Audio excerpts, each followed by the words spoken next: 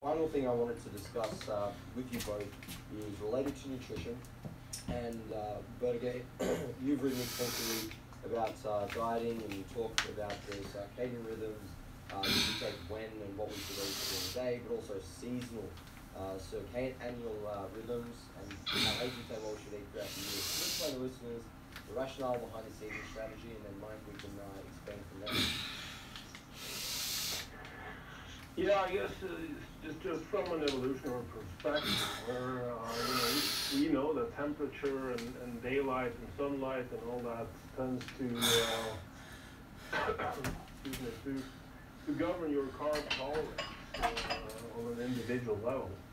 Uh, uh, model then gathering the foods required to fuel a human for a single day would require hours of work from plastics and, carb.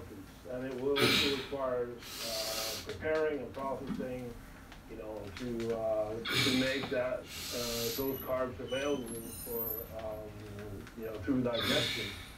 Uh, whereas, you know, getting a single animal, of course, that would also require probably a team effort and, and some a high calorie expenditure, but you know, we evolved as subsistence hunters and also developed tools and weapons. It's funny. We can, uh, we can do a GoFundMe page and maybe get enough money. We can we can make that happen. I think maybe we get all the kind of the bodybuilding podcasts and all the kind of blogs out there and just all channel it one way. I actually think it probably would go pretty far. You, you get a couple of thousand people chipping in ten bucks, and uh, we have a study. I, mean, yeah, we should talk about that in future. Actually, I actually think that could be really good. um, so actually, to talk to our next point um, of the kind of the good nutrition, talking about calories um, and getting sufficient protein. Then I think a lot of people are interested in that kind of surplus of calories and what size of a surplus and the kind of research in that area again is not there's not much there. There's a couple of studies that have looked at surpluses, but it's not very specific to bodybuilders.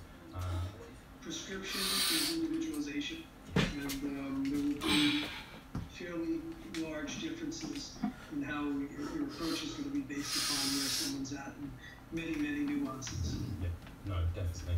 Um, and then in terms of keeping someone a bit leaner, do you ever implement things like the mini cuts? I don't know if you've heard of that term, like shorter ratios. Do you utilize those in your own kind of like programming for those bodybuilders?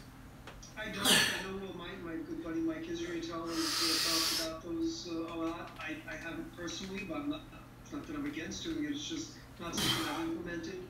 Um, it's an interesting concept. Uh, whether it uh, is more beneficial or not, I have not used it. Okay, perfect. No. Um, so,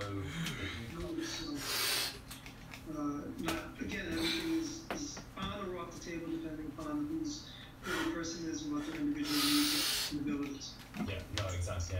That's why I love these chats with you, Brad. I mean, you, you bring up individualization all the time, which I think is just something people have to remember whenever they're listening to these. Um, and whenever you give out recommendations, you always give that caveat. So um, I really enjoy that. And um, something I did want to ask you actually was talking about kind of the programming variables, the progressive overload, kind of making things harder over time is quite important.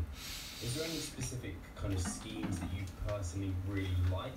If people are aware of like double or triple progression, or even if you've ever utilised something that might have made a little bit more popular with adding sets, is that ever something you've considered utilising in your own programming? Well, I actually, went course, first of all, progressive overload.